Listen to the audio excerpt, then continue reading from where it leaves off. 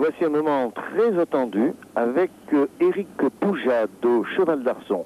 Éric Poujade qui a terminé médaille d'argent des Jeux méditerranéens et qui ici s'annonce comme un des grands favoris de cette finale au cheval d'Arson s'il ne dérape pas, j'allais dire, sur le cheval d'Arson. Et on sait que cet exercice est extrêmement complexe.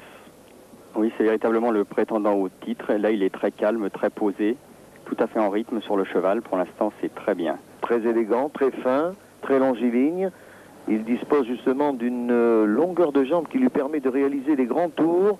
Et c'est pas mal rythmé tout cela. C'est bien, là, on le sent très confiant sur ses appuis. Il ne faut pas qu'il se déconcentre avant la fin. Ça, c'est impératif. Il se rapproche de la sortie. Oui, c'est très bien pour Eric. Eh bien, bravo.